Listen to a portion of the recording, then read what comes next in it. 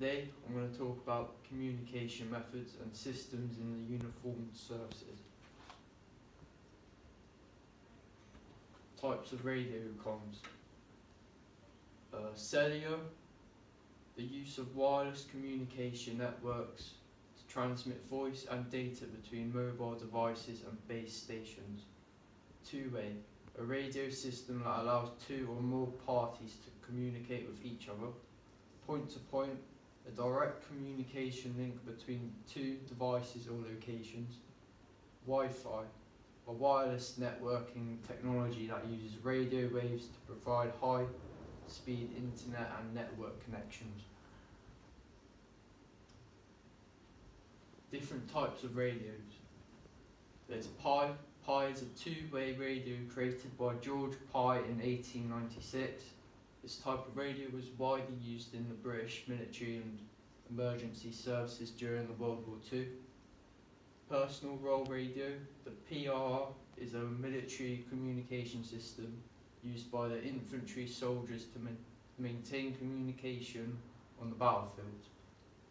It is a lightweight single channel short range radio system that allows soldiers to communicate with each other, their commanders and supporting units frequency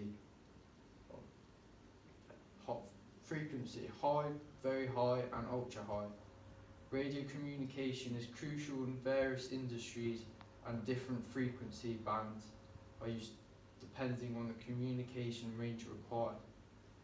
High frequency radios are ideal for long range communication.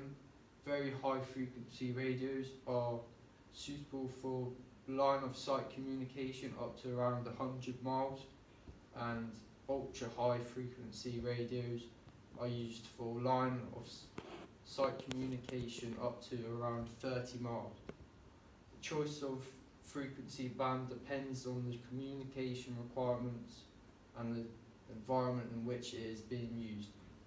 Bowman. Bowman is a digital communication system used by the British Army to provide secure and reliable voice and data communication between troops, vehicles and headquarters. It is designed to be able to operate in challenging environments as well.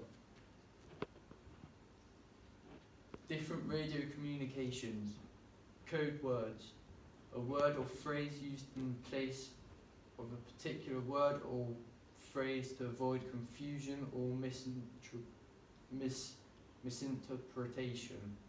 Call signs, a unique identifier assigned to a radio operator or station. Phonetic alphabet, a standard, standardized system of using words to represent letters of the alphabet to facilitate clear communication over the radio. Test calls, a brief exchange of information to confirm that the radio equipment is functioning correctly. Standard voice procedures, a set of guidelines used to ensure clear and concise communication over the radio.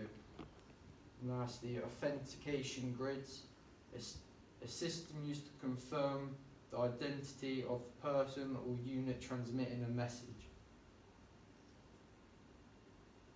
Radio procedures for the police.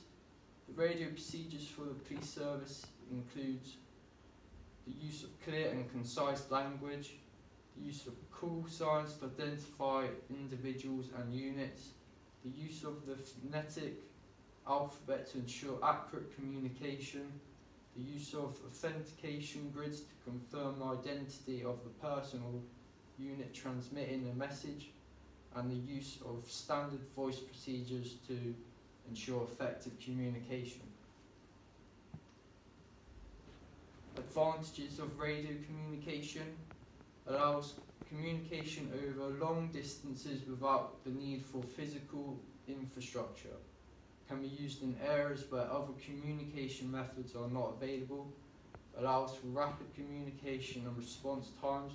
Provides a secure means of commun communication when properly encrypted. Disadvantages of radio communication their limited bandwidth can lead to delays or dropped messages. Radio signals can be intercepted and listened to by unauthorized parties. Radio equipment can be expensive and require specialized training to operate, and radio signals can be affected by weather and other environmental factors.